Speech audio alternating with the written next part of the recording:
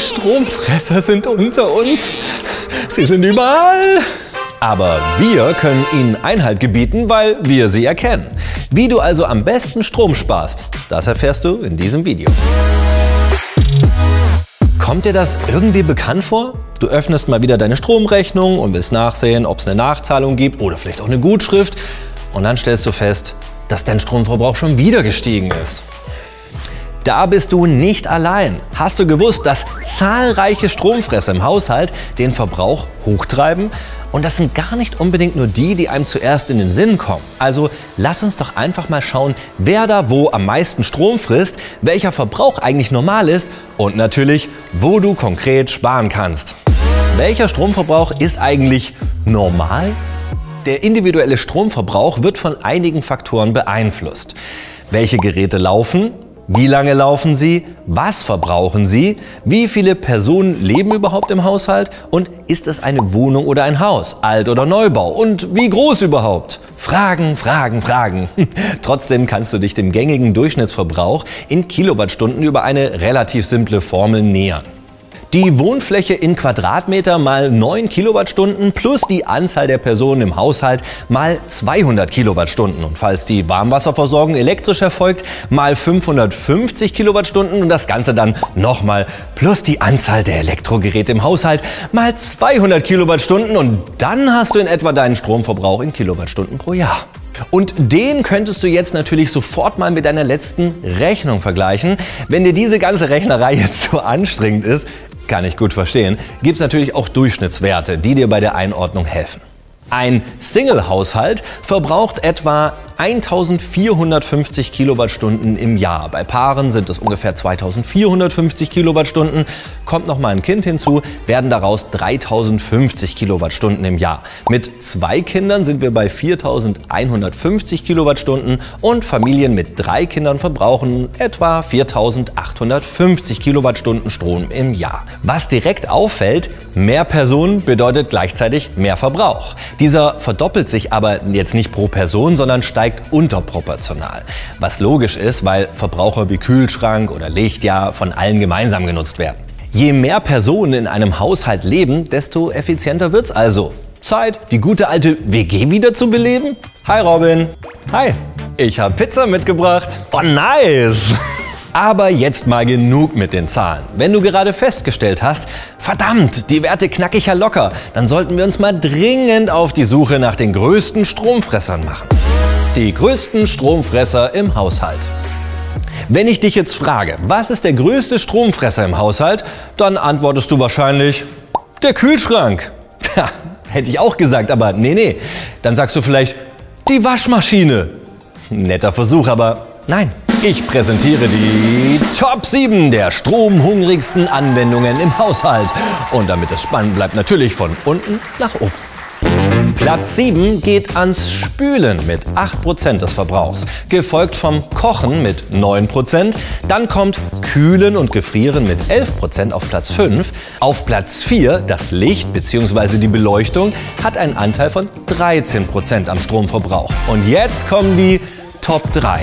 Den Anfang macht Wäsche waschen und Trocknen mit 14 Prozent.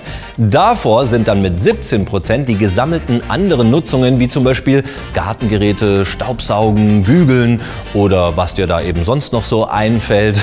Abgesehen von der absoluten Nummer 1. Mit 28 Prozent des Stromverbrauchs im Haushalt ist es der PC, der TV, die Spielekonsolen, die Musikanlagen und eben weitere Unterhaltungselektronik. Ich finde, da sind doch einige Überraschungen dabei, oder? Viele der Geräte verbrauchen sogar Strom, auch wenn du sie gar nicht nutzt. Stichwort Standby und so. Und das nicht nur der Fernseher mit seinem roten Lämpchen. Auch sowas hier verbraucht häufig Strom nur dadurch, dass es einfach am Netz hängt. Ein ganz normales Ladegerät für Smartphone. Oder die hier. Ja, auch eine Waschmaschine zieht Strom sogar wenn sie aus ist. Das sind zwar alles erstmal keine riesigen Mengen an Strom, aber holst du zum Beispiel den Fernseher aus dem Standby-Modus, sparst du so 20 bis sogar 120 Kilowattstunden im Jahr. Und das summiert sich schnell. Die Lösung? Stecker ziehen. Ganz einfach. Oder besorg dir diese Mehrfachsteckdose mit An- und Ausschalter. Ein Klick, alles vom Netz getrennt, läuft. Oder eben nicht mehr. Stromverbrauch berechnen. So geht's. Um den Stromverbrauch jetzt exakt zu bestimmen, gibt es zwei Möglichkeiten. Mit einem Messgerät oder wieder mit einer tollen Formel.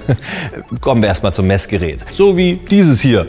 Das ist natürlich die exakteste und einfachste Möglichkeit. Das Messgerät kommt wie ein Zwischenstecker zwischen den Verbraucher und die Steckdose. So bekommst du direkt den aktuellen Verbrauch angezeigt, aber auch Hochrechnungen, zum Beispiel aufs ganze Jahr. Der große Vorteil, das Messgerät misst auch den Standby-Strom. Du siehst also genau, welches Gerät heimlich wie viel Strom verbraucht und kannst die Übeltäter gezielt aus dem Spiel nehmen oder besser gesagt vom Netz. Wenn du gerade keinen Strommesser zur Hand hast oder dir das Geld sparen willst, kannst du den Verbrauch auch einfach ausrechnen. Die Formel ist simpel. Leistung des Gerätes in Watt multipliziert mit der Laufzeit in Stunden, das Ganze geteilt durch 1000 und raus kommt der Verbrauch in Kilowattstunden. Nehmen wir doch exemplarisch mal diesen Staubsauger hier.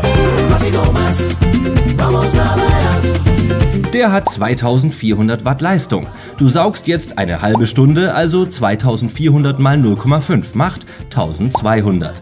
Das Ganze geteilt durch 1000 macht dann 1,2 Kilowattstunden.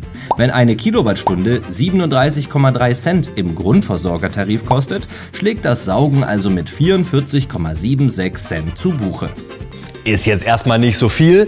Wenn du das aber mal mit allen Geräten durchrechnest, die du so nutzt und das aufs ganze Jahr hochrechnest, dann kommt da schon mal einiges zusammen. Als weiteres Beispiel mal der Standby-Modus eines Fernsehers mit rund 14 Watt. Ist der 24 Stunden pro Tag auf Standby, zum Beispiel wenn du mal nicht da bist, dann sind das 336 Watt. Geteilt durch die 1000, also 0,336 Kilowattstunden und damit rund 11 Cent pro Tag. Das sind aber 40 Euro im Jahr fürs Nicht-Nutzen. Zum Schluss möchte ich dir noch mal ein paar kurze allgemeine Strom- und Energiespartipps mitgeben. Immerhin hatte ich das Schauen meines Videos ja auch schon wieder ein paar Cent gekostet. Fünf Top-Tipps zum Energiesparen.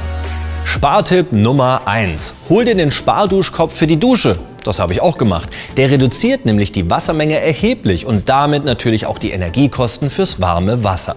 Spartipp Nummer 2. Gönn dir einen neuen Kühlschrank.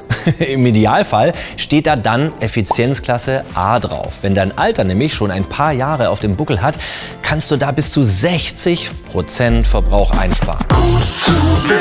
Übrigens, für Kühlschränke, Geschirrspüler, Waschmaschinen, Lampen und elektronische Displays wurde 2021 A++ und Co abgeschafft. Hier gibt es jetzt nur noch die Energieeffizienzklassen A bis G, wobei A das Beste ist. Für alle weiteren Geräte kommt das dann auch in den nächsten Jahren.